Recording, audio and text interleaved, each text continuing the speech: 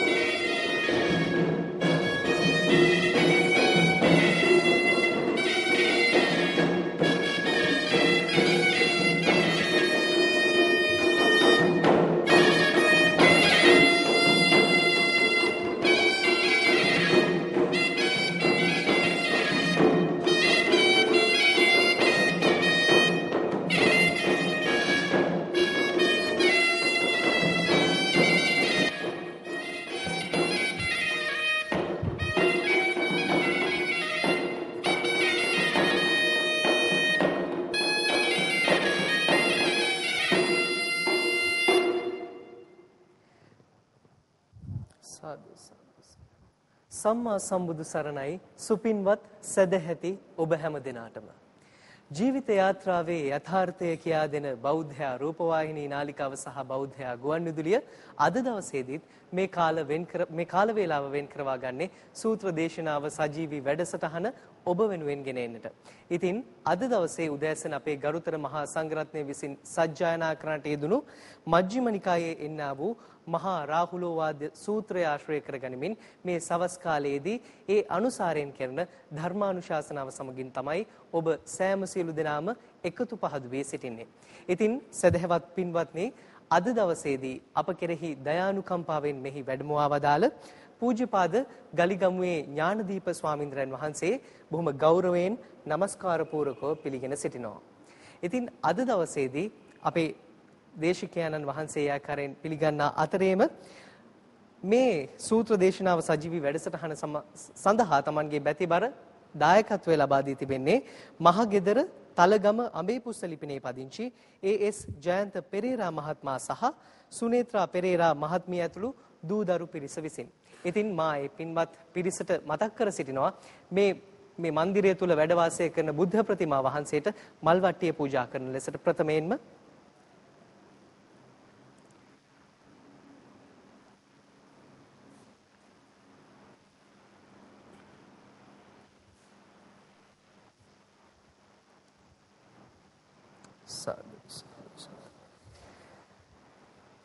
ඉන් අනතුරුව චාරිත්‍රානුකූලව දේශකයන්න් වහන්සේට මේ ධර්ම දේශනාවට ආරාධනා කිරීම සඳහා දැහැත් වට්ටිය පිළිගන්වන ලෙසට මා ඒ දැක පින්වත් මහත්මයාට ආරාධනා කර සිටිනවා.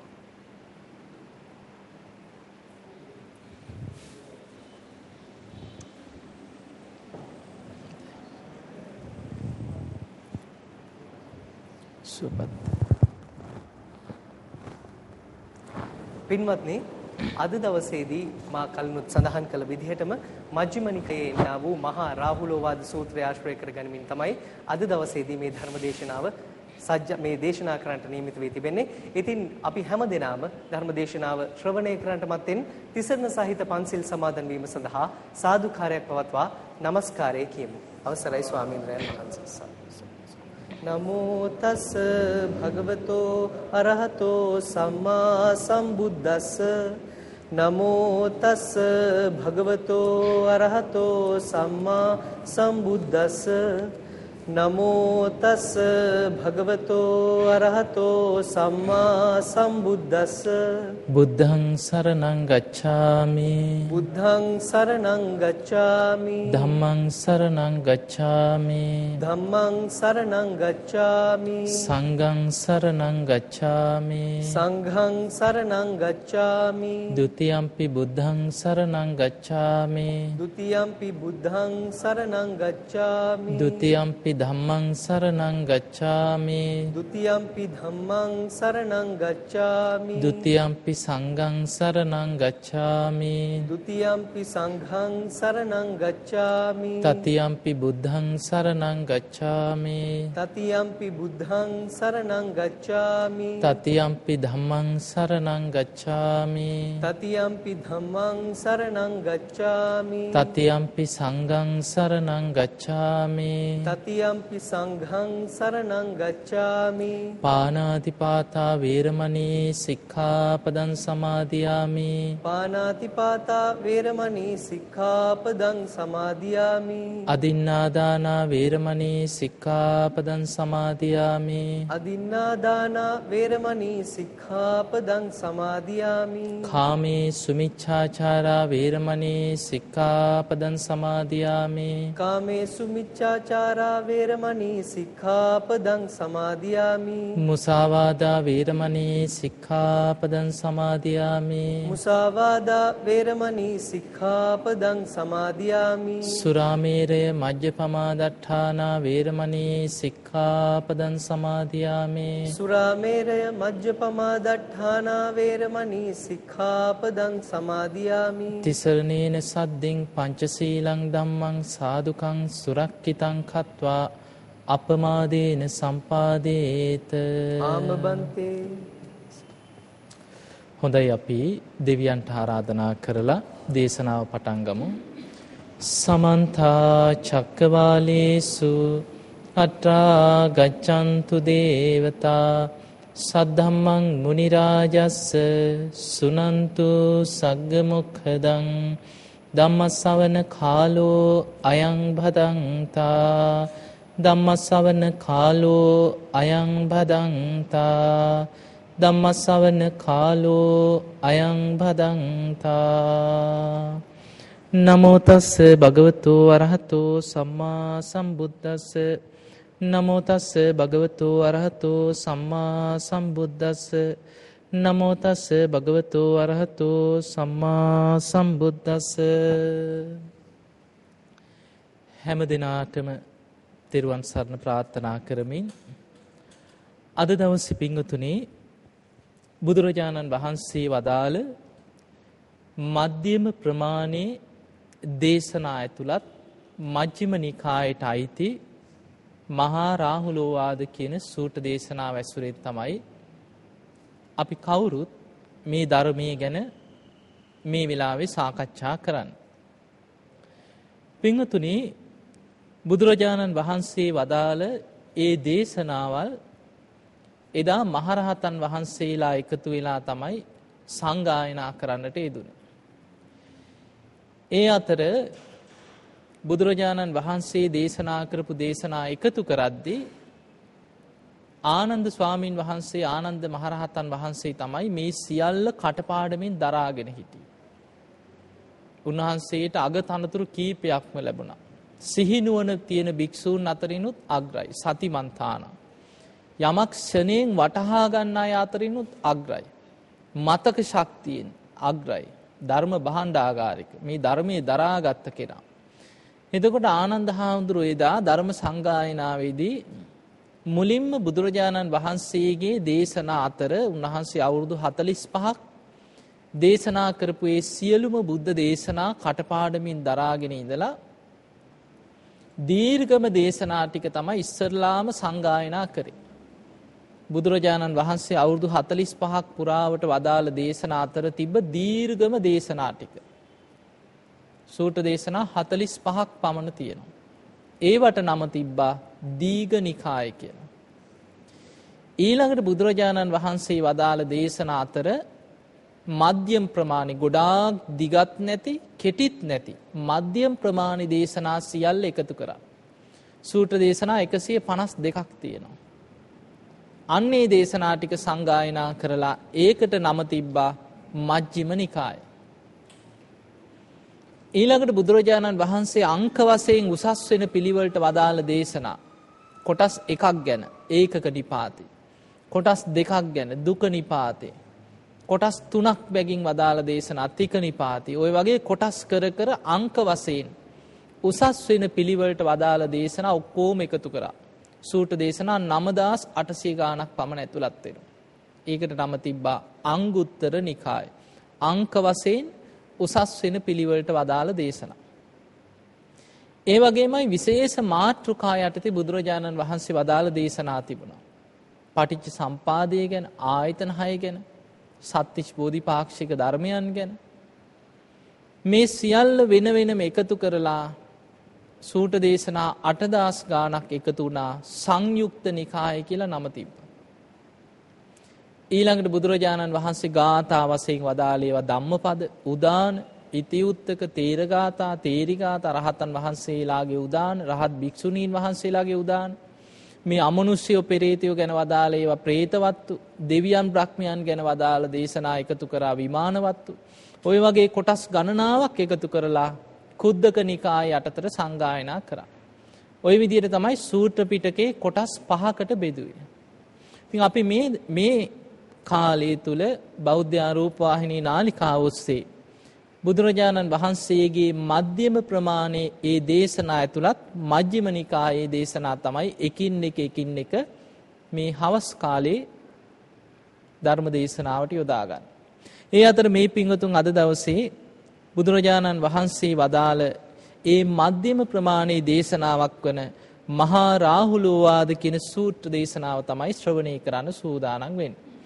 පින්වතුනි මේ දේශනාව බුදුරජාණන් වහන්සේ පුංචි රාහුල හාමුදුරුවන්ට වදාළ දේශනාවක්. රාහුල හාමුදුරුව ගැන ඔබ කවුරුත් දන්නවා. එදා ගිහි ජීවිතේ ගත කරද්දි සිද්ධාර්ථ කුමාරයාගේ ගිහි ජීවිතේ තමන්ගේ පුත්‍ර රත්නේ තමයි රාහුල කියන්නේ. මේ දරුවා මව් කුසින් ලෝකයට ඒ බිහි වෙච්ච දවසේම තමයි එදා රාත්‍රී තමයි සාමාන්‍යයෙන් පියෙක් දරුවෙක් ලැබිච්ච දවසේ මේ පංචකාමයන්ට තවත් බැඳෙන දවසක්. ඒ දරුව ගැන ලොකු සෙනෙහසකින් ලොකු සිහිනයක් ගොඩනගා ගන්න දවසක්. හැබැයි උන්වහන්සේට දරුවා ලැබුණා කියලා අර සේවකයෝ ඇවිල්ලා කියනකොටම උන්වහන්සේගේ මුවින් පිට වුණේ මොකද්ද? රාහුලෝ ජාතෝ බන්ධනං ජාතා. රාහුලී කිපදිලා තවත් බැඳීම් ගොඩක් ඇති වුණා නේද? එදා රාත්‍රී උන්වහන්සේ දරුවා ලැබිච්ච දවසේම පුංචි රාහුල පුතා ඉපදිච්ච දවසේමයි සියලු සැප සම්පත් රාජ මාලිගා අතහැරලා රම්ම්‍ය සුරම්ම්‍ය සුභ මාලිගා අතහැරලා විමුක්තියක් උදෙසා සියලු සැප සම්පත් අතහැරලා අභිනිස්ක්‍රමණය කළේ.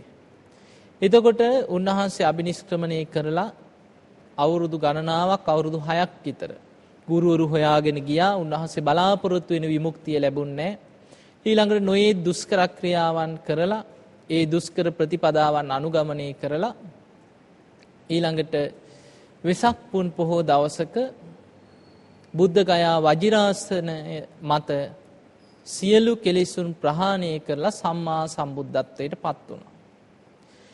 ඊළඟට බුදුරජාණන් වහන්සේ සම්මා සම්බුද්ධත්වයට පත් වෙලා සත් සතිය අවසන් වෙලා ඉසිපතන මිගදායේ දී තමන් අවබෝධ කරගත් ධර්මයේ ප්‍රථම කොට ලෝකයට දේශනා කරා. එතනින් තමයි බුදුරජාණන් වහන්සේගේ ධර්ම ප්‍රචාරක කටයුතු ආරම්භ වුණේ. ධම්සප් පැවතුම් සූත්‍රයෙන් ඊ ආරම්භ කරපු දේශනාව අනන්ත ලක්කන සූත්‍රය අහලා මේ පස් දිනාම පස්වක භික්ෂූන් අරහත්ත්වයට පත් වුණා. ඊළඟට උන්වහන්සේ ළඟ ඇවිල්ලා පැවිදි වුණා යසකුල පුත්‍රයා යාළුවෝ 54 දෙනෙක්. මේ 60 දිනාම පළවෙනි වස් කාලේ වස් සමාදන් වුණා ඉසිපතන මිගදායේ පුණ්‍ය භූමියේ. ඒ වස් කාලේ අවසන් වෙලා බුදුරජාණන් වහන්සේ මේ 60 දිනාම පිටත් කරලා එරියා චරත බික්කවේ චාරිකම් බහුජන හිතාය බහුජන සුඛාය අත්තාය හිතාය සුඛාය දේව මනුසානම් මේ දෙව් මිනිසුන්ගේ යහපත පිණිස චාරිකාය වඩින්න කීවා. එක මගකින් දෙනමක් කියන්න එපා කියෝ. මේ පිරිසිදු ධර්මයේ නිවන් මඟ ලෝකයට දේශනා කරමින් ගම් නියම් ගම් පුරා වැඩම කරන්න කියලා පිටත් කරලා ඇරලා බුදුරජාණන් වහන්සේ තනියම උරුවෙල් දනව්වට වැඩම කරා. උරුවෙල් කාශ්‍යප නදී කාශ්‍යප ගයා කාශ්‍යප කියන මේ තුන් බෑ ජටිලයන් සමග හිටපු 1000ක් දෙනා. උරුවෙල් කාශ්‍යප ළඟ 500ක් හිටියා ශිෂ්‍ය පිරිස. නදී කාශ්‍යප ළඟ 300ක් හිටියා. ගයා කාශ්‍යප ළඟ 200ක් හිටියා. මේ ඔක්කොම 1000ක් දෙනා දමනය කරලා ඒ අයටත් ධර්මයේ දේශනා කරා. ඒ සියලු දෙනාම රහත් වුණා. ඒහි බික්කු භාවයෙන් පැවිදි උපසම්පදාව ලබා දුන්නා. දාහක් සඟ පිරිස පිරිවරාගෙන බුදුරජාණන් වහන්සේ රජගහනුවරට වැඩම කරා. බිම්බිසා රජතුමාට වෙච්ච පොරොන්දුවක් ඉෂ්ට කරන්න. බුද්ධත්වයේ ලබාගෙන ඒ ධර්මය කියන්න රජතුමා මුණ ගැහෙන්න එනවා කියලා පොරොන්දු වුණා එදා. ඒ පොරොන්දුව ඉෂ්ට කරන්න වැඩම කරලා ඒ දේශනා කරපු බණ ටික අහලා ඒ බුදුරජාණන් වහන්සේගේ ධර්මය අහලා බිම්බිසා රජතුමා උතුම් සෝතාපන්න ඵලයටපත් වුණා. ඒ වෙලාවේ තමයි රජතුමා තමන්ගේ රාජකීය උයන රාජකීය උද්‍යානයේ වේළුවනාරාමේ සංඝ සතු කරලා පූජා කරේ. බුද්ධ ප්‍රමුඛ මහා සංඝයා උදෙසා. ඒ තමයි පළවෙනි ආරාම පූජාව. එතකොට බුදුරජාණන් වහන්සේ මේ වේළුවනාරාමේ රජගහ නුවර බිම්බිසා රජතුමා පූජා කරපු වේළුවන කියන උයනේ උද්‍යානයේ වැඩ ඉන්නකොට තමයි ශාක්‍ය වංශිකයන්ට ආරංචි වුණා අන්න සිද්ධාර්ථ කුමාරයා දැන්නම් සියලු කෙලෙසුන් ප්‍රහාණය කළ සම්මා සම්බුද්ධත්වයට පත් වෙලාලු. බිම්බිසා රජතුමා විසින් මේ වගේ තමන්ගේ රාජකීය උයනක් පූජා කරලා මහා සංඝ පිරිසක් පිරිවරාගෙන රජගහනුවර වේලුවන උයනේ වැඩ ඉන්නවා. එදා සුද්ධෝදන රජතුමා පණවිඩ කරුවන් ඇරියා ශාක්‍ය ජනපදයට කපිලවස්තු පුරයට වැඩම කරන්න. නම වතාවක්ම අය පිටත් කරලා ඇරියා. ඒ ගිය හැමෝම බනහලා ධර්මියත් අවබෝධ කරගත්තා. මිසක් ඒ තමන් ආපු කාරණේ ඉෂ්ට කරන්න උවමනාවක් ගත්තේ නැහැ. ඒ වෙලාවේ තමයි සුද්ධෝදන රජතුමා කාලුදායි කියන ඒ ඇමතියට කතා කරලා කියන්නේ ඔබ බුදුරජාණන් වහන්සේ මුණ ගැහෙන්න ගිහිල්ලා මම මැරෙන්න කලින් මගේ හුස්ම ටික යන්න කලින් මගේ පුත්‍රරත්නය මට දකින්න ඕන කියෝ. ඒ නිසා මේ කපිලවස්තු පුරේට වැඩමවාගෙන එන්න ආරාධනයක් කරන්න කිය.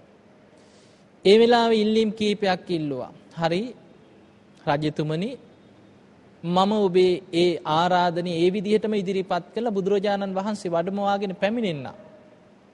හැබැයි මට පැවිදි වෙන්න අවසර දෙන්න කිව්වා අවසර දෙන්නම් කිව්වා.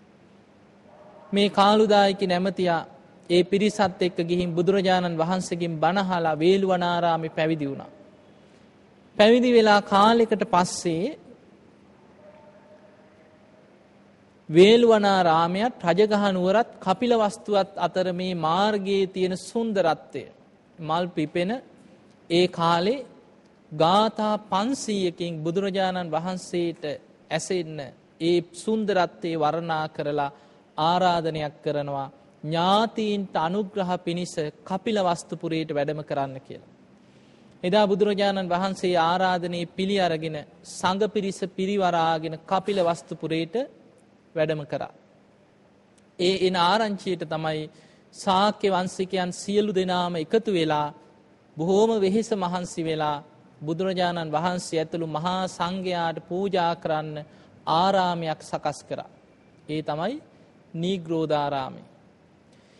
එදා බුද්ධ ප්‍රමුඛ මහා සංඝයාට මේ ආරාමේ පූජා කරපු වෙලාවේ එදත් ශාක්‍ය වංශිකයන්ගේ මානෙ දුරු කරන්න බුදුරජාණන් වහන්සේ අහසට පැන නැගලා යමා මහ පෙළහර පාපු බව ධර්මයේ සඳහන් වෙනවා. බුදුරජාණන් වහන්සේ කපිලවස්තුපුරේට තමන්ගේ ඒ උපන් ගමට වැඩම කරලා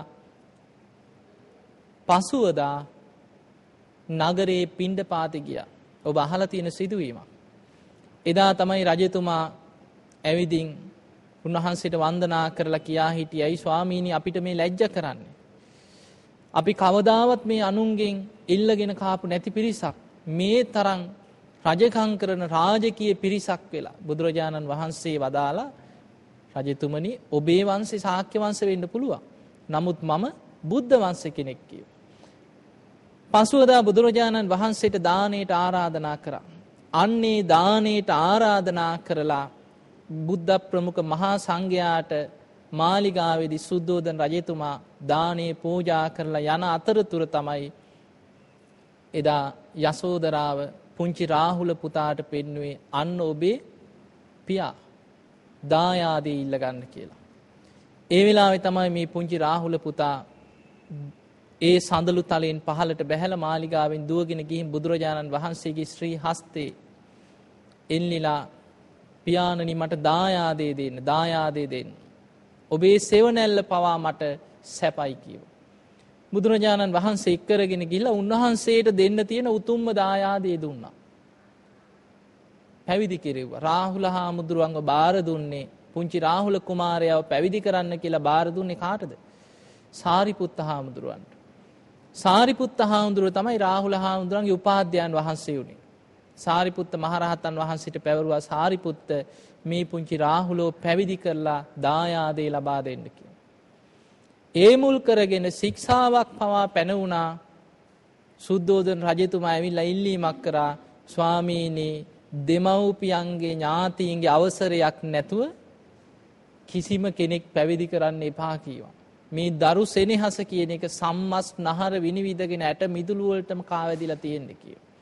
ඒ වෙලේ තමයි බුදුරජාණන් වහන්සේ ශික්ෂාවක් පැනෙව්වේ එතනින් එහාට කෙනෙක් පැවිදි කරනවා නම් අවසරයක් තියෙන්න ඕනේ දෙමව්පියන්. එතකොට ඔය විදිහට ඒ පුංචි රාහුල කුමාරයා එදා පැවිදි කරා සාරිපුත්ත හාමුදුරුව. මේ සාරිපුත්ත මහරහතන් වහන්සේ තමයි රාහුල කුමාරයාගේ උපාධ්‍යයන් වහන්සේ. එතකොට දවසක් රාහුල හාමුදුරුව පැවිදි වෙලා දැන් අවුරුදු හතේදි තමයි පැවිදි කරේ. පැවිදි වෙලා කාලයක් යනකොට අවුරුදු දහටේදි විතර තමයි මේ මහා රාහුලවාද සූට දේශනාව දේශනා කරලා තියෙන. අට්ට කතාවේ සඳහන් වෙනවා. රාහුල හාමුදුරුව අරහත්වයට පත්වෙන්නේ අවුරුදු විස්සේදි විතර. එතකොට දවසක් පුංචි රාහුල හාමුදුරුව භාවනා කරනවා.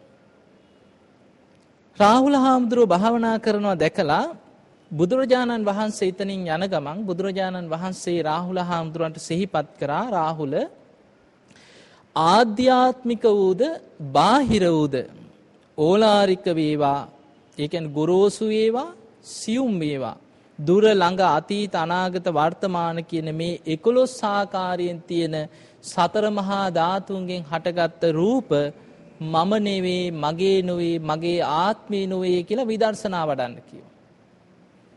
එතකොට රාහුල හාමුදුරන්ට බුදුරජාණන් වහන්සේ පෙන්ලා දෙනවා තමා තමාගෙන් බාහිර ගුරුසු සියුම් හීන ප්‍රනීත දුර ළඟ අතීත අනාගත වර්තමාන මෙන්න මේ 11 ආකාරයේ තියෙන සතර මහා ධාතුන්ගෙන් හටගත්ත රූපයන් මම නොවේ මගේ නොවේ මගේ ආත්මේ නොවේ කියලා මේවා අනිත්‍ය දුක්ඛ අනාත්ම වශයෙන් විදර්ශනා වඩන්න කියලා. එතකොට පුංචි රාහුල හාමුදුර අහනවා ස්වාමීනි භාග්‍යතුන් වහන්සේ මේ මේ විදර්ශනා වඩන්නේ රූපය විතරද කියලා. බුදුරජාන් වහන්සේ වදාළ රාහුල රූපය විතරක් නෙමෙයි වේදනා සංඥා සංඛාර විඥාන කියන මේ පංච උපාදානස්කන්ධය ගැන මේ විදිහට විදර්ශනා වඩන්නේ කියලා. එතකොට අන්න බුදුරජාණන් වහන්සේ පුංචි රාහුල හාමුදුරුව ගහක් යට භාවනා කරනවා දැකලා දීප උපදේශ තමයි පංච උපාදානස්කන්ධය 11 ආකාරයකට විදර්ශනා වඩන්න කියනවා. 11 ආකාරයකට විදර්ශනා වඩනවා කියන්නේ මේකම තමයි ධර්මයේ සඳහන් වෙන්නේ සබ්බ ලෝකේ අනබිරත සංඥාව හැටියට. ඒ කියන්නේ කෙනෙක්ගේ හිත පංච උපාදානස්කන්ධයේ පිහිටන යම් ලෝකයක් ඇද්ද ඒ සියල්ල කෙරෙහිම පිහිටන්නේ නැතුව නොඇල්ම ඇති වෙන විදිහට විදර්ශනා වඩන්න කියලා. අතීතයේ ඉපදිච්ච පංච උපාදානස්කන්ධ ගැන අපේ හිතේ ආසාවක් තියෙනවද නැද්ද? හිතන්න. දැන් මිය පරලෝකීය දෙමව්පියෝ ගැන අපි හිතන්නේ නැද්ද? අනේ අපේ අම්මා හිටියානම් අපේ තාත්තා අද හිටියානම් අන්න ඒ විදිහට එතකොට ඒ අය දැන් අතීතයේ නිරුද්ධ වෙලා ගිහිල්ලා. නමුත් ඒ අයගේ රූපය ගැන හිතලා සමහරලාට ෆොටෝ එකක් දැක්කට පස්සේ මතක් වෙනවා. ඒ අයගේ මේ පංච උපාදානස්කන්ධ ගැන සිහි කරලා අපි දුක් වෙනවා. ඒ අපේ හිතේ බැඳීමක් තාම තියෙන නිසා. ඒ නිසා අතීතයට ගිය පංච උපාදානස්කන්ධත් අනිත්‍ය වශයෙන් වඩන්න කියන. ඒ ගැන යම් ඇල්මක් තියෙනවා නම් ඒක අතහැර ගන්න කියන. ඊළඟට අනාගතේ උපදින්න ඉන්න අය ගැන ඇලෙන්නේ නැද්ද? සාමාන්‍යයෙන් අපි හිතමු දරුවෙක් ලැබෙන්නේ ඉන්න අම්මා කෙනෙක්. දරුවා තාම ඉපදිලත් නැහැ. නමුත් අනාගතේ සැලසුම්මවක් නැද්ද? මේ දරුවා ලැබුණාම මම මේ විදියට උගන්වනවා. මේ වගේ තැනකට යවනවා. මෙන්න මේ විදියට තමයි මේ දරුවා මං ඉහළට යවන්නේ. එතකොට ඒ වගේ මේ දරුවා තව ඉපදිලත් නැහැ. නමුත් උපදින්න ඉන්න අනාගතේ පහළ වෙන්න ඉන්න පංච උපාදානස්කන්ධ ගැනත් අපි ඇලීමෙන් සැලසුම් හදනවා. එතකොට වර්තමානයේ තියෙන තමාගේ පංච උපාදානස්කන්ධයටත් තමා අවට ඉන්න අයටත් ඇලෙනවා. එතකොට අපේ හිතේ තණ්හාව අතීත අනාගත වර්තමාන කියන මේ තුන් කාලයේම තියෙන පංච උපාදානස්කන්ධ ගැන බැඳීමක් තණ්හාවක් තියෙනවා. ඊළඟට ගොරෝසු ශරීර තියෙන පංච උපාදානස්කන්ධ තියෙනවා නම් ඒවටත් බැඳෙනවා. ගොරෝසු කියන්නේ මේ අපේ ශරීර. කබලින්කාර ආහාරයෙන් පෝෂණය වෙන ශරීර තියෙන මේ මිනිස්යන්ට තිරිසන් ලෝකෙත් ඉන්නවා. කබලින්කාර ආහාර තියෙන සත්වයෝ. ගොරෝසු ශරීර ඇති සත්වයෝ. ඊළඟට සියුම් ගොරෝසු වේවා සියුම් වේවා. සමහර වෙලාවට ඇලුම් කරනවා මේ ශරීරයක් දරාගෙන ඉන්න එක නම් මහා දුකක්. ලෙඩ වෙනවා, ජරාවටපත් වෙනවා. ඊට වඩා හොඳයි දෙවි කෙනෙක් වගේ සියුම් ශරීරයක් ලැබුණා නම් කියලා දිව්‍ය ශරීරයකට ආස කරන්න පුළුවන්. ඇලුම් කරනවා.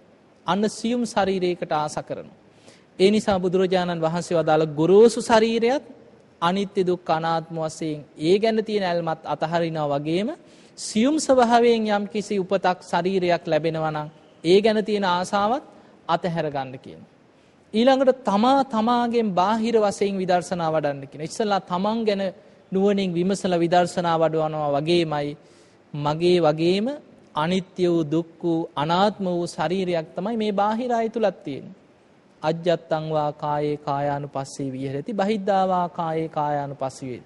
ආධ්‍යාත්මිකව තමාගේ ශරීරය ගැන නුවණින් විමසලා දකින්නේ යම්සේද බාහිර අය තුල තියෙන්නේ ඒ විදියමයි කියලා විදර්ශනා වඩන්න ඊළඟට හීන ප්‍රනීත වශයෙන් සමහර වෙලාවට හීනයි කියලා සම්මත පහත් කියලා සම්මත දේවල් තියෙනවනේ ලෝකේ.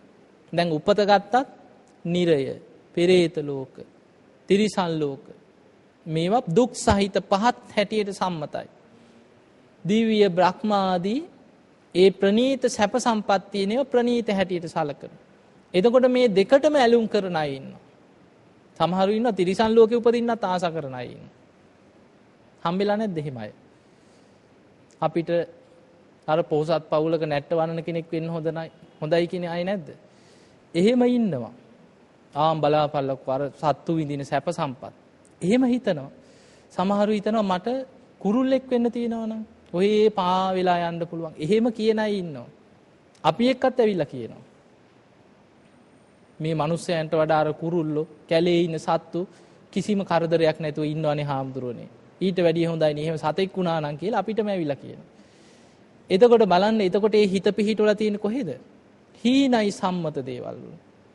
සමහරු පෙරේත ලෝකෙත් උපදින්න කැමති. මම මැරිලා හරි යකෙක් වෙලා එනවා කියන අය නැද්ද? තරහෙන් වෛර බැඳගෙන එතකොට හිත පිහිටුවේ කොතනද? අර දුක් සහිත අමනුස්ස ලෝකික හිත පිහිටවා ගන්න. ඒ නිසා මේ කියන යම් කිසි කෙනෙක් මේ ලෝකේ උපදින්න තියෙනවා නම් යම් ලෝකයක් ඒ හැම තැනක් ගැනම විදර්ශනා වඩන්න කියන. පංච උපාදානස්කන්ධයේ ඇතුව ඉන්න දෙවියන් වේවා, මිනිස්යන් වේවා, බ්‍රහ්මයන් වේවා, සතර අපායේ අය වේවා. අතීතේ හිටපු අය ගැන වේවා, වර්තමාන ජීවත් වෙන අය ගැන වේවා, අනාගතයේ උපදින්න අය ගැන වේවා යම් ඇල්මක් තියෙනවා නම් ඒ සියල්ල අතහරින්න කියනවා. ඒ සියල්ල මම නොවේ, මගේ නොවේ, මගේ ආත්මේ නොවේ කියලා අනිත්‍ය දුක්ඛ අනාත්ම වශයෙන් වඩන්න කියලා බුදුරජාණන් වහන්සේ පුංචි රාහුල හාමුදුරුවන්ට දේශනා කරා. ඒ වෙලාවේ රාහුල හාමුදුරුව භාවනා කරන්න පටන් ගත්තා. රාහුල හාමුදුරුව බුදුරජාණන් වහන්සේ මේ කියපු උපදේශය හොඳට හිතට අරගෙන ගහක් යට වාඩි වෙලා දැන් විදර්ශනා වඩනවා. රාහුල ස්වාමීන් වහන්සේ විදර්ශනා භාවනාව කරගෙන මේ පංච උපාදානස්කන්ධය අනිත්‍යයි කියලා හොඳට නුවණින් විමසගෙන යනකොට සාරිපුත්ත හාමුදුරුවෝ එතනින් ගියා. සාරිපුත්ත හාමුදුරුවෝ තමයි උපාධ්‍යයන් වහන්සේ ගුරුවරයා. සාරිපුත්ත හාමුදුරුවෝ දැක්ක පුංචි රාහුල හාමුදුරුවෝ භාවනා කරනවා. සාරිපුත්ත හාමුදුරුවෝ රාහුල හාමුදුරුවන්ට කියනවා රාහුල ඔබ ආනාපාන සතිය වඩන්න කියනවා. දැන් බුදුරජාණන් වහන්සේ දීපු භාවනාව මොකද්ද? විදර්ශනා වඩන්න කියනවා. පංච උපාදානස්කන්ධය අතීත අනාගත වර්තමාන දුර ළඟ හීන ප්‍රනීත ගොරෝසු සියුම් තමා තමාගෙන් බාහිර මේ විදියට 11 ආකාරයකට විදර්ශනා වඩන්න කියලා බුදුරජාණන් වහන්සේ උපදෙස් දීගෙන ගියා.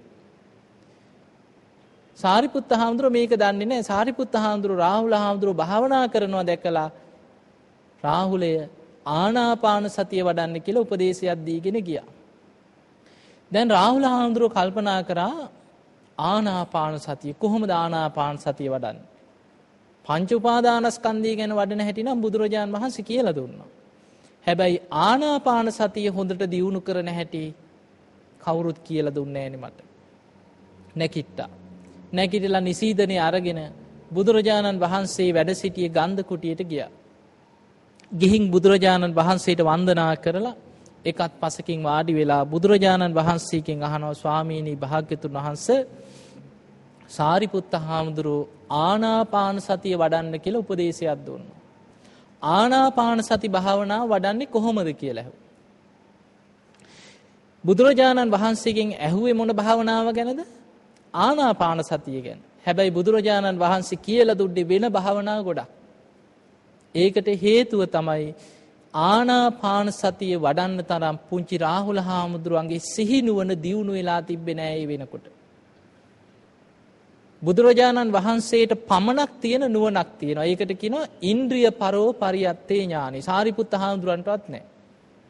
හරියටම පුද්ගලයෙක් දිහා බලලා ඉලක්කෙට ඒ කෙනාගේ හිත දියුණු වෙන ආකාරයේ හරිම උපක්‍රමයක් භාවනාවක් දෙන්න පුළුවන් බුදු කෙනෙකුට විතරයි.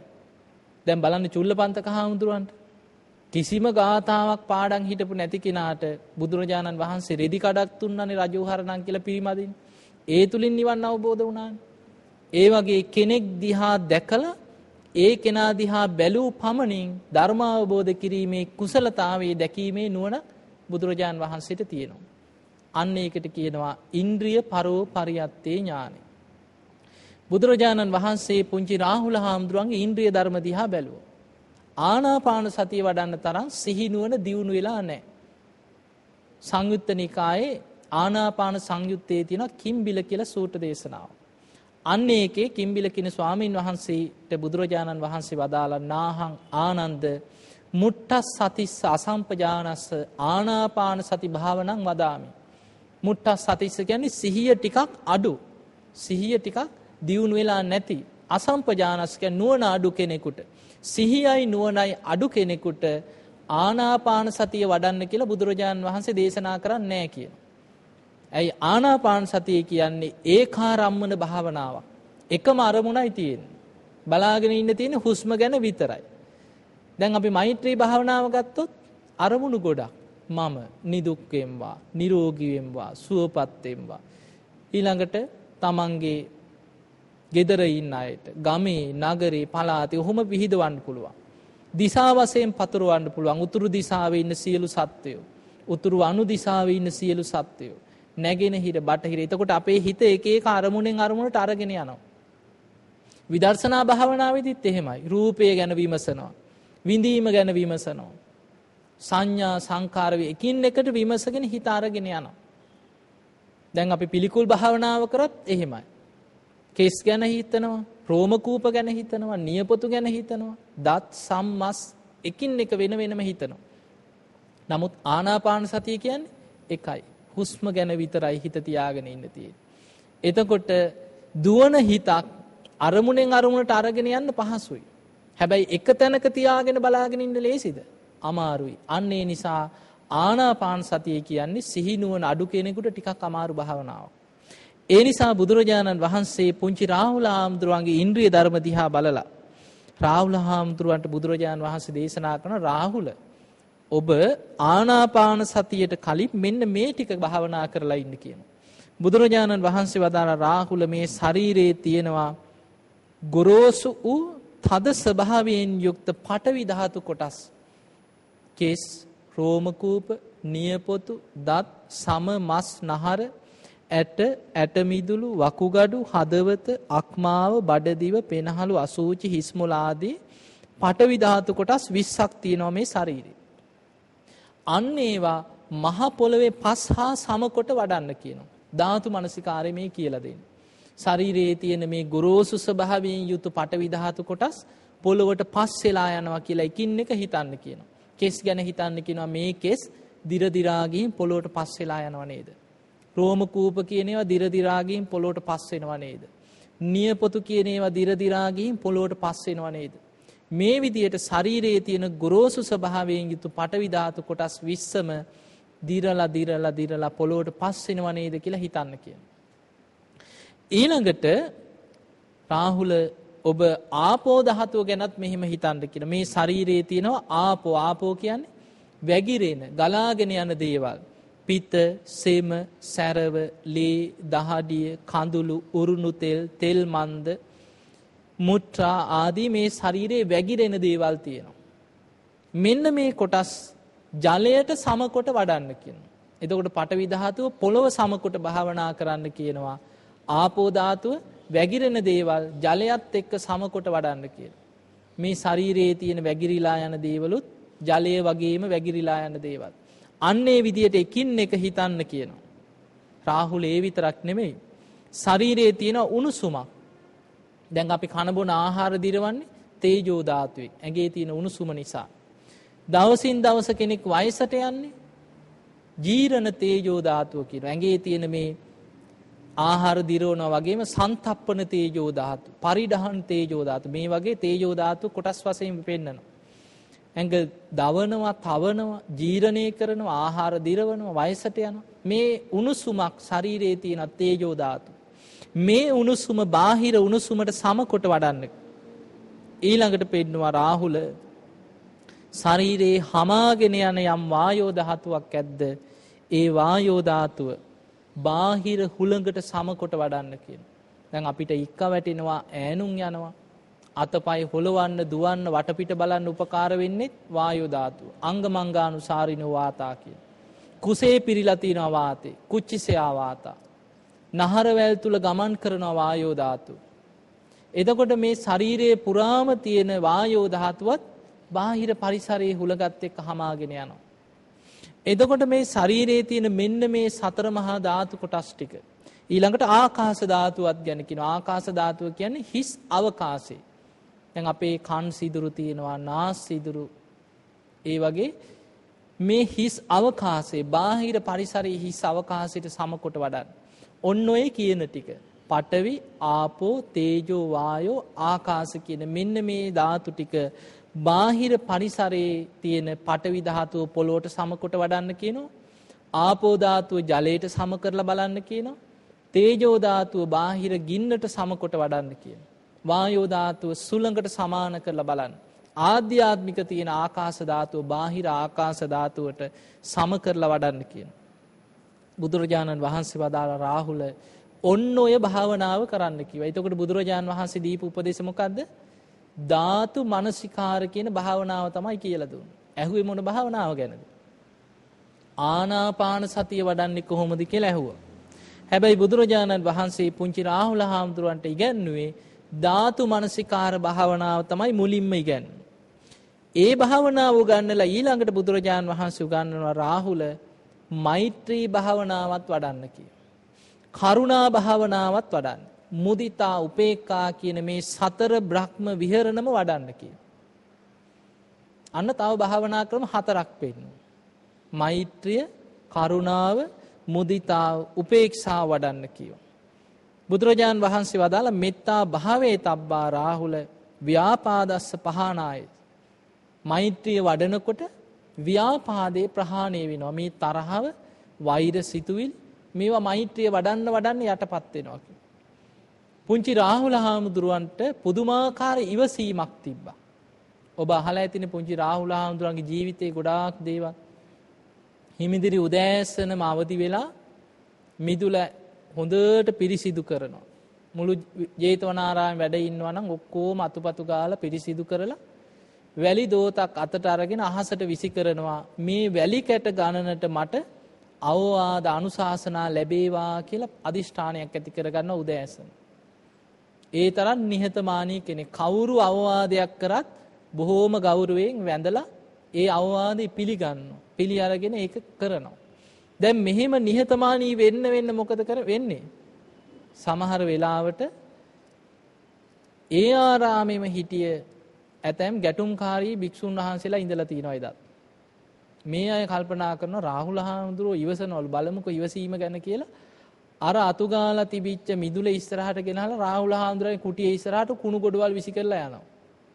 ගිහිල්ලා ඇවිල්ලා මෙන්න චෝදනා කරනවා. කියන්නේ නම් කොහොමද? බොහොම පිරිසිදුව තියාගන්නවා බොහොම ඉවසීමක් කියලා අර පේන්නේ නැද්ද තියෙන කුණු ගොඩවල් ටික කියලා ඔන්න බැනගෙන යනවා.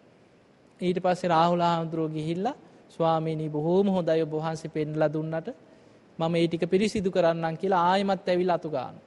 එතකොට ඒ වගේ මොන තරම් පුංචි රාහුල හාමුදුරන්ට කරදර බාධා හිරිහැර කරත් උන්වහන්සේ ඒවට කිපෙන්නේ නැතුව ඒ ආයායමත් පිරිසිදු කරා කියන. බලන්න එදා ඉදලා තියෙන භික්ෂූන් වහන්සේලාගේ හැටි දැන් බලන්න හිතන්න ඔබ බුදුරජාණන් වහන්සේ ජීවමානව වැඩ ඉන්නකොට බුදුරජාණන් වහන්සේ දා ජේතවනාරාමේ වැඩ ඉන්නකොට රාහුල හාමුදුරුවෝ ජේතවනාරාමේ වැඩ සිටියා. එතකොට දැන් අනිත් භික්ෂුන් වහන්සේලා දන්නේ නැද්ද මේ රාහුල හාමුදුරුවෝ කියන්නේ ගිහි කාලේ මේ පුතා කියලා? දන්නවා. චබ්බග්ගිය කියලා භික්ෂූන් වහන්සේලා ටිකක් හිටියා. බොහොම කෝලහලකාරී පිරිසක්. කියන දේ අහන්නෙම නැති පිරිසක් ඉඳලා තියෙනවා. මේ පිරිස මොකද කරේ දවසක් චාරිකාවේ ගිහිලා රෑ වෙලා ආවා. එනකොට ඉන්න කුටියක් නැහැ. ඉන්න තැනක් නැහැ.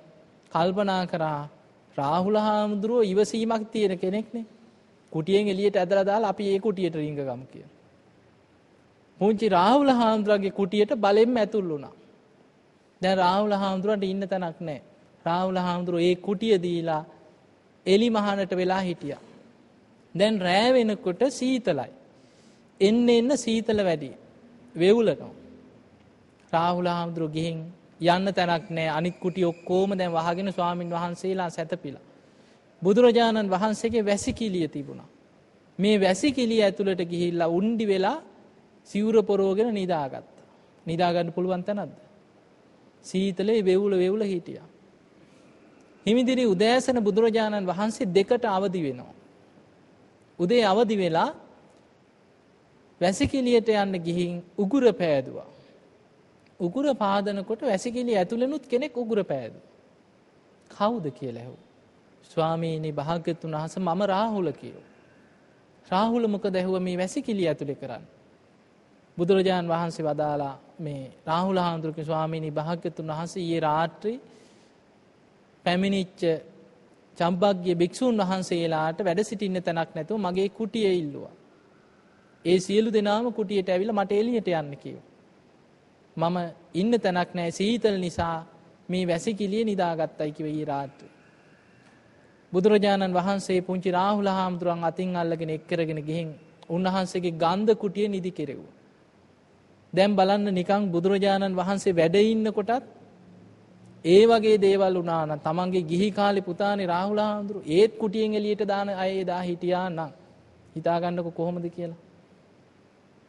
බුදුරජාණන් වහන්සේගේ මහා කරුණාව බලන්න උන්වහන්සේදා රාහුල හාමුදුරන්ගේ උන්වහන්සේගේ කුටිය නිදිකරෝගෙන පසුවදා භික්ෂූන් වහන්සේලා එකතු කරලා මේ කාරණේ මුල් කරගෙන ඒ විදිහට භික්ෂූන් වහන්සේලාව කුටිවලින් එළියට ඇදලා ඒ වගේ හිංසාවෙන් කටයුතු කරන්න එපා කියලා අවවාද අනුශාසනා කරා. එතකොට ඔය වගේ රාහුල හාමුදුරන්ගේ ජීවිතේ ඔය වගේ සිදුවීම් දෙක තුනක්ම තියෙනවා. ඇයි මෙහෙම මේ වැඩිපුර ඔය වගේ ඒවට භාජනය වෙන්නේ? අර ඉවසීමත් එක්ක. හොඳට ඉවසනවා කියලා දැනගත්තාම සමහරු වෙන්නේ නැද්ද වැඩිපුර කරදර කරන්න. එනවා ඒක තමයි සමා මේ අර අසත්පුරුෂ සමාජයක ස්වභාවය. ඒ කෙනාට කරදරයක් කරොත් අපිට කරදරයක් වෙන්නේ නැහැ. එහෙමයි හිතන්නේ. ඔය ඉවසන මිනිස්සෙක් කියලා අන්න ඒ කෙනාට වැඩිපුර කරදර කරන්න හදනවා. ඒ වගේ පුංචි රාහුල හාමුදුරුවන්ටත් නොයෙක් විදිහට ඒ වගේ කලහක සත්පුරුෂයන්ගෙන් නෙමෙයි අසත්පුරුෂ අයගෙන් නොයෙක් කරදර බාධා හිරිහැර වෙලා තියෙන. හැබැයි උන්වහන්සේ කොයිම වෙලාවකවත් ඒ අය එක්ක ගැටුමක් ඇති කරගන්න නැතුව මෛත්‍රියෙන් කරුණාවෙන් ඉවසීමෙන්ම කටයුතු කරා. බුදුරජාණන් වහන්සේ අගතනතුරක් ලබා දුන්නා. ශික්ෂාකාමී භික්‍ෂූන් අතර අගතැම්පත්කම ලැබුණේ රාහුල් ස්වාමීන් වහන්සේට රාහුල හාමුදුරුවන්ට. එතකොට බුදුරජාණන් වහන්සේ මේ රාහුලෝවාද සූට දේශනාවිදි පුංචි රාහුල හාමුදුරු බුදුරජාණන් වහන්සේගෙන් ඇහුවේ ආනාපාන සතිය ගැන. බුදුරජාණන් වහන්සේ මුලින්ම ඉගැන්වේ ධාතු මනසිකාර භාවනාව වඩන හැටි. ඊළඟට බුදුරජාණන් වහන්සේ වදාළ රාහුල මෛත්‍රිය කරුණාව මුදිතා උපේක්ඛා කියන සතර බ්‍රහ්ම විහරණ හොඳට වඩන්න කියෝ. භාවනා වශයෙන් ඔබ දියුණු කරන්න අන්න ආනාපාන සතිය වඩන්න කලින් මෛත්‍රී කරුණා මුදිතා උපේක්ඛා වඩන්න කියෝ. ඊළඟට බුදුරජාණන් වහන්සේ තව භාවනාවක් උගන්වනවා රාහුල අසුභ භාවනාවත් වඩන්න කියෝ. අසුභ භාවේ තබ්බා රාගස්ස පහනාය. මේ රාග සහිත සිතුවිලි යටපත් වෙන්න ප්‍රහාණය වෙන්න අසුභ භාවනාව පුරුදු කරන්න කිව්ව. එතකොට ඊළඟට බුදුරජාණන් වහන්සේ වදාළ රාහුල ඒ විතරක් නෙමෙයි අනිච්ච සංඥාවත් වඩන්න කිව්වා. අනිච්ච සංඥා වඩනකොට අස්මිමානයේ දුරු වෙනවා. මම වෙමි කියන හැඟීම මේ මම මගේ මගේ ආත්මයයි කියලා තියෙන මේ සක්කාය දිට්ඨිය මම වෙමි කියන අස්මිමානේ මේවා දුරු වෙලා යනවා කියව අනිත්‍ය සංඥාව පුරුදු කරනකොට. එතකොට බලන්න ඇහුවේ ආනාපාන සතිය ගැන භාවනා කීයක් කියලා දුන්නාද? බුදුරජාණන් වහන්සේ ධාතු මනසිකාරය ගැන ඉගැන්නුවා. මෛත්‍රී කරුණා මුදිතා උපේක්ඛා කියලා භාවනා හතරක් වඩන හැටි සතර බ්‍රහ්ම විහරණම් වඩන හැටි ඉගැන්නුවා. අසුභ භාවනාව වඩන්න කීවා. ඊළඟට අනිච්ච සංඥා වඩන්න කියෝ. මේ ටික ඔක්කෝම ගැන උගන්නලා ඊළඟට බුදුරජාණන් වහන්සේ වදාළ රාහුල ආනාපාන සතියත් වඩන්න කිව ඕකෙන් පස්සේ. අන්න දැන් මේ භාවනාවල් වඩාගෙන යනකොට කෙනෙක්ගේ හිත දියුණු වෙනවා. සිහිනුවන දියුණු වෙනවා. අර සිහිය මද කෙනාගේ සිහිය ධාතු මනසිකාරය හරි මෛත්‍රී භාවනාව හරි අසුභ භාවනාව හරි එහෙම භාවනාවක් වඩාගෙන යනකොට අර සිහිය මද කෙනාගේ සිහිනුවන වැඩෙනවා. එහෙම වැඩීගෙන යනකොට ඒ කෙනාට ආනාපාන සතිය වඩන්න තරම් හොඳ සිහියක් නුවණක් වැඩෙනවා. ඊට පස්සේ ආනාපාන සතිය වඩන්න කියලා බුදුරජාණන් වහන්සේ ආනාපාන සති භාවනාවත් උගන්වනවා. රාහුල ඔබ ගහක් මුලට හරි රුක් සෙවනකට හරි ශුන්‍යාගාරයකට හරි ගිහිල්ලා පළඟක් බැඳගෙන වාඩි වෙලා හොඳට කොන්ද කොඳු වැට පේලිය ඍජුව පවතින විදිහට. දැන් අනිත් භාවනාවල් එකම අනිත් භාවනාවක් ගැනවත් බුදුරජාණන් වහන්සේ નિયમિત මේ ඉරියව්වෙම කරන්න කියලා ඉරියව්වක් පෙන්වන්නේ අනිත් හැම භාවනාවක්ම සතර ඉරියව්වෙම කරන්න පුළුවන්. තිට්ටං චරන් නිසින්නෝ අසයානෝ. හිටගෙන ඉන්නකොට සක්මන් කරන ගමන් නිදාගෙන ඉන්න ඉරියව්වෙත් ඉඳගෙනත් මේ සතර ඉරියව්වෙම භාවනා මනසිකාරයේ යෙදෙන්න පුළුවන්. හැබැයි ආනාපාන සතියට විතරක් බුදුරජාණන් වහන්සේ පෙන්නනවා නිසීදති පල්ලංකං ආභුජිත්වා උජුං කායම් පනිදාය. පළඟක් බැඳගෙන වාඩි වෙලා ඍජුං කායම් පනිදාය මේ කොන්ද ඍජුව තියෙන වාඩි වෙන්න කියලා. ඇයි කොඳු ඇට පේලිය ඍජුව හිටින විදිහට හොඳට වාඩි වුණාට පස්සේ තමයි මේ පෙනහළු වල ක්‍රියාකාරීත්වය හොඳට සිදුවෙන්නේ බාධාවක් නැහැ. ඇයි හුස්ම රැල්ලත් එක්ක හිත එකඟ කරන ක්‍රමයක් ආනාපාන සතිය කියන්නේ. ඒ හුස්ම වලට බාධාවක් නොවන විදිහට වාඩි වෙලා හොඳට සිහිය යොමු කරන්නට ඕන. එතකොට ආනාපාන සතිය ගැනත් මේකේ පියවරෙන් පියවර උගන්වනවා අපි ටිකක් බලමු. බුදුරජාණන් වහන්සේ රාහුල හාමුදුරන්ට පෙන්වන රාහුල ඉස්සරලාම සෝ සතෝ වස්ස සති සෝ සතෝ පස්ස සති. ආනාපාන සතිය කරනවා නම් හොඳ සිහියෙන් හුස්ම ගන්නයි සිහියෙන් හුස්ම හෙලන්නයි පුරුදු වෙන්න. අන්න පළවෙනිම දේ. වෙන මොකුත් කරන්නේ නැහැ. පළඟක් බැඳගෙන වාඩි වෙලා සිහියෙන් හුස්ම ගන්නවා සිහියෙන් හුස්ම හෙලනවා. දැන් මෙච්චර කාලයක් උපන්දා ඉඳන් හුස්ම ගත්තේ සිහියෙන්ද? නෑ හුස්ම වැටෙනවා ඒක. අමුතුවෙන් සිහිය පිහිටවන්න ඕනේ නැහැ. නිදාගෙන හිටියත් හුස්ම වැටෙනවා. අමුතුවෙන් සිහියක් අවශ්‍ය නැහැ. නමුත් සිහිය පිහිටෝලා ගන්න හුස්ම ගැන හොඳ අවධානයෙන් සිහියෙන් හුස්ම ගන්න කියනවා. සිහියෙන් හුස්පාන සතියේදී මුලින්ම පුරුදු වෙන්න ඕනේ භාවනාව. එතකොට මේ විදිහට සිහියෙන් හුස්ම ගන්න හුස්ම හෙලන්න පුරුදු වෙනකොට අන්න ටික ටික ටික ටික දැන් තමන්ගේ සිහිය නුවණ ආනාපාන සතිය තුළ දියුණු වෙනවා වැඩෙනවා. එහෙම වැඩෙනකොට මොකද වෙන්නේ දීගං වාස්ස සන්තෝ දීගං අස්ස සාමීති පජානාති. අන්න ඒ හුස්ම රැල්ලේ තියෙන දීර්ඝ හුස්ම තේරෙනවා දැන්. රස්සං වාස්ස සන්තෝ රස්සං අස්ස සාමිති පජානාති. දැන් මගේ හුස්ම කෙටියෙන් වැටෙනවා. දීර්ඝ හුස්මක් කෙටි හුස්මක් කියලා හුස්ම රැල්ලේ තියෙන වෙනස්කම් තේරුම් ගන්න පුළුවන්කම ලැබෙනවා සිහියෙන් හුස්ම ගන්නකොට. හොඳ සිහිනුවනින් හුස්ම ගන්නකොට සිහිය දියුණු වෙනකොට තමයි වෙනස්කම් තේරෙන්නේ. දැන් මොකද කරන්නේ යා වෙනස්කනුත් තේරුම් ගනිමින් දීර්ඝ කෙටි ආස්වාස ප්‍රස්වාසවල වෙනස්කම් තේරුම් ගනිමින් තවදුරටත් ආස්වාස ප්‍රස්වාස කරනවා. එහෙම කරගෙන යනකොට මුළු හුස්ම රැල්ලම තේරෙනවා. පස්සම් සබ්බකාය පටිසංවේදී අස්ස සිස්සාමිති සික්කති කියන මුළු හුස්ම රැල්ලම මුළු ශරීරයත් එක්කම මේ හුස්ම රැල්ලේ තියෙන බැඳීම මේ සියල්ල තේරුම් ගනිමින් ආස්වාස ප්‍රස්වාස කරනවා. දැන් ටික ටික දියුණු වේගෙන යනවා. එහෙම දියුණු වෙන්න දියුණු වෙන්න හුස්ම රැල්ලේ ගොරෝසුකම ටික ටික අඩු වෙලා සංසිඳෙනවා. ඒක තමයි පස්සම් බයං කාය සංකාරං අස්ස සිස්සාමිති සික්කති. හුස්ම සංසිඳවන්න කියලා. දැන් හුස්ම රැල්ලේ හොඳට සිහිය පිහිටවල සිහිය දියුණු වෙනකොට ඒකේ දීර්ඝ කෙටි ආශ්වාස ප්‍රශ්වාසවල වෙනස්කම් තේරෙනවා. ඒ වෙනස්කනුත් තේරුම් අරගෙන හොඳට හුස්ම රැල්ලේම හිත පවත්වගෙන දියුණු කරගෙන යනකොට කාලයක් යනකොට මේ හුස්ම රැල්ල ශරීරයත් එක්කම බැඳී පවතින ආකාරය තේරෙනවා. තවත් කාලයක් භාවනා කරගෙන යනකොට හුස්ම රැල්ලේ තියෙන ගොරෝසුකම ටික ටික අඩු වෙවි අඩු වෙවි හුස්ම රැල්ල සංසිඳෙනවා. අන්නේ සංසිඳෙන සියුම් හුස්ම තුල සිහිය පිහිටවාගෙන දියුණු කරනකොට කය සැහැල්ලු වෙලා ලොකු සැපයක් එක්ක අර සංසි හුස්ම සංසිඳීමත් එක්කම කය සැහැල්ලු වෙනවා ලොකු සැපයක් දැනෙනවා සුඛිනෝ චිත්තං සමාධියති හිත සමාධියට වැටෙනවා එතකොට ඔය වගේ ආනාපාන සතිය තුල ඉහළටම දියුණු කරගන්න පුළුවන් මෙන්න මේ භාවනාව බුදුරජාණන් වහන්සේ ඊළඟට රාහුල හාමුදුරන්ට පෙන්නවා රාහුල ආනාපාන සතිය ඔන්න ඔය විදියට දියුණු කරන්න. එතකොට ඔන්න ඔය දේශනාව තමයි මහා රාහුලෝවාද සූට දේශනාව තියෙන. සාරාංශයක් කරලා හිතන්න. මජ්්‍යම නිකායට අයිති බුදුරජාණන් වහන්සේ පුංචි රාහුල හාමුදුරන්ට දේශනා කරපු දේශනාව. රාහුලෝවාද සූත්‍රයේ.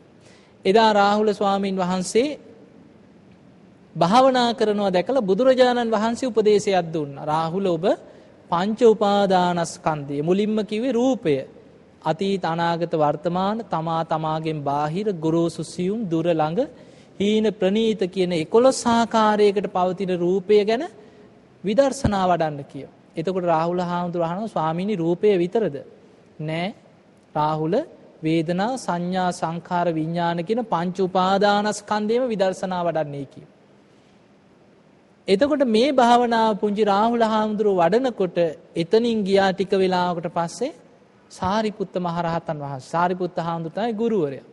සාරිපුත්ත හාමුදුරුවෝ රාහුල හාමුදුරුවෝ භාවනා කරනවා දැකලා රාහුල ඔබ ආනාපාන සතිය වඩන්න කියලා උපදේශයක් දීගෙන ගියා. පුංචි රාහුල හාමුදුරුවෝ ආනාපාන සතිය ගැන දන්නේ නැහැ. ඒ නිසා රාහුල හාමුදුරුවෝ නිසීදනේ අරගෙන නැකිටලා බුදුරජාණන් වහන්සේ වැඩ සිටිය ගන්ධ කුටියට ගිහින් වන්දනා කරලා එකත් පසකින් වැඩ ඉඳලා ආනාපාන සතිය වඩන හැටි අහනවා. එතකොට බුදුරජාණන් වහන්සේ රාහුල හාමුදුරන්ගේ ඉන්ද්‍රිය ධර්ම දිහා බලලා ආනාපාන සතිය දියුණු කරන්න තරම් සිහිනුවණක් නැති බව බුදුරජාණන් වහන්සේට වැටහිච්ච නිසා ඉස්සල්ලාම ආනාපාන සතිය ගැන පෙන්වන්න නැතුව බුදුරජාණන් වහන්සේ ආන මේ රාහුල හාමුදුරුවන්ට දේශනා කරේ ධාතු මනසිකාරය වඩන්න කියලා. ඊළඟට දේශනා කර මෛත්‍රී කරුණා මුදිතා උපේක්ඛා කියන සතර බ්‍රහ්ම විහරණ වඩන්. ඊළඟට දේශනා කරා අසුභ භාවනාව වඩන්. අනිච්ච සංඥා වඩන්. ඊට පස්සේ තමයි ආනාපාන සතිය ගැන දේශනා කරේ. ඔන්න ඕක තමයි රාහුලෝවාද සූට දේශනාවේ සඳහන් වෙන්නේ. රාහුල හාමුදුරුව අරහත්වයට පත්වෙච්ච දේශනාවක් තියෙනවා රාහුලෝවාද සූත්‍රයේ හැටියටම සංයුත්ත නිකායේ. අවුරුදු විස්සේදි විතර තමයි උන්වහන්සේ අරහත්වයට පත් වුණේ.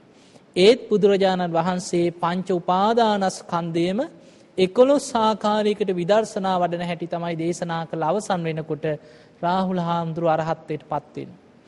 පුංචි රාහුල හාමුදුරුවන්ට වැඩිය ආයුෂක් තිබිලා නැහැ. දැන් බලන්න බුදුරජාණන් වහන්සේගේ ගිහි කාලේ සිද්ධාර්ථ කුමාරයාගේ පුතා හැබැයි රාහුල හාමුදුරුව පිරිනිවන් පෑවේ බුදුරජාණන් වහන්සේ ජීවමාන වැඩ සිටිද්දිමයි. රාහුල හාමුදුරුව භාවනා කරනකොට උන්වහන්සේ දැක්ක උන්වහන්සේගේ ආයුෂ ගෙවිලා අවසානයි. උන්වහන්සේ උපතින් ගෙනාපු ආයුෂ ගෙවිලා ඉවරයි. අවුරුදු 55ක් 56ක් වගේ තමයි වැඩ ඉඳලා තියෙන්නේ. බුදුරජාණන් වහන්සේගේ ගන්ධ කුටියට ඇවිල්ලා වන්දනා කරලා බුදුරජාණන් වහන්සේගෙන් අවසර ඉල්ලුවා ස්වාමීනි භාග්‍යතුන් වහන්සේ මට පිරිනිවන් පාන්න අවසර දෙන සේක්වා. බුදුරජාණන් වහන්සේ රාහුල හාමුදුරන්ගේ අහනව රාහුල තථාගතයන් වහන්සේ බැලුව බුදු ඇසින් ආයුෂ ගෙවිලා අවසానයි. පිරිනිවන් පාන්න අවසර දෙනවා. රාහුල ඔබ කොහේ දැහුව පිරිනිවන් පාන්නේ? රාහුල හාමුදුරුව කියන ස්වාමීනී භාග්‍යතුන් වහන්සේ බොහෝ දෙවි දේවතාවුන් මට ආරාධනා කරනවා කිව්වා දිව්‍ය ලෝකෙට වැඩම කරලා දිව්‍ය ලෝකෙ පිරිනිවන් පාන්න කියලා. ඒ නිසා ස්වාමීනී භාග්‍යතුන් වහන්සේ මම දිව්‍ය ලෝකෙ පිරිනිවන් පානවයි කිය. බුදුරජාන් වහන්සේ සාදුකාර දුන්නා සාදු සාදු සාදු රාහුල බොහොම හොඳයි කිය. ඒ දෙවියන්ගේ ආරාධනාව පිළි අරගෙන දිව්‍ය ලෝකෙ පිරිනිවන් පාන්නේ කිය. බුදුරජාණන් වහන්සේට වන්දනා කරලා පස්සෙන් පස්සට එළියට ගිහින් ගන්ධ කුටිය වටා තුන් වතාවක් බුදුගුණ කියමින් වන්දනා කරලා ජේතවනාරාම ඉදිරියේදී එතනින් අහසට පැන නැගලා දිව්‍ය ලෝකයට ගිහිල්ලා ඒ දිව්‍ය ලෝකවල දසදහසක් ලෝක ධාතුවල දෙවියන් පිරිවරාගෙන දිව්‍ය ලෝකෙදි තමයි පිරිනිවන් පාවදාලේ. ඒ නිසා රාහුල මහරහතන් වහන්සේගේ ධාතුන් වහන්සේලා එක නමක්වත් මනුස්ස ලෝකේ මේ වෙනකොට නැහැ. තියෙන තැනක් ගැන සඳහනක් නැහැ. ඇයි උන්වහන්සේ පිරිනිවන් පෑවේ දිව්‍ය ලෝකෙ නිසා. ඉතින් ඒ රාහුල හාමුදුරුවන්ට ඒ රාහුල ස්වාමීන් වහන්සේට බුදුරජාණන් වහන්සේ දේශනා කරපු දේශනාව තමයි මහා රාහුලවාද සූත්‍රය. ඉතින් අපි අද දවසේ ශ්‍රවණය කරේ. ඉතින් මේ දේශනාව ශ්‍රවණය කිරීමෙන් අපි හැමදෙනාම රැස් කරගත් සියලු පුණ්‍ය ධර්මයන් අපි පින් කැමති සියලු දෙවියන්ට මුලින්ම අනුමෝදන් කරමු. දෙවියෝ මේ පින් දැක බලා අනුමෝදන් වෙත්වා දෙවියන්ගේ දෙවි අස ඉසුරු වර්ධනය කරගෙන සියලු දෙවියෝ සසර දුකින් අත මිදේවා කියලා සාදු කියලා දෙවියට පින් අනුමෝදන් කරන්න. ඒ වගේම අද ධර්ම දේශනාවේ දායකත්වයේ දරන්නේ මහගෙදර තලගම අඹේ පුස්ස පදිංචි ඒ.එස්. ජයන්ත පෙරේරා මහතා සුනේත්‍රා පෙරේරා මහත්මිය ඇතුළු දූ දරුවන් විසින් තමයි අද දින මෙම ධර්ම දේශනාවේ දායකත්වයේ දරන්නේ. ඉතින් ඒ ජයන්ත පෙරේරා මහතාගේ ආදරණීය පියාණන් වන නැසී ගිය ඒ සැන්ට්‍රෝරිස් පෙරේරා මහතා හරිද? ඔව්. පෙරේරා මහතා ඒ වගේම මෑණියන් වන නැසී ගිය එච්.ටි. රොස්ලින් පෙරේරා මහත්මිය ඒ වගේම සුනේත්‍රා නෝනා මහත්මියගේ පියාණන් වන නැසී ගිය ජී.පී. සමරකෝන් මහතාටත් පින් අනුමෝදන් කිරීම පිණිසත් බන්දුවතී සමරකෝන් මෑණියන්ට නිදුක් නිරෝගී භාවය ප්‍රාර්ථනා කිරීමත් මේ අයගේ අදහසක් වෙනවා.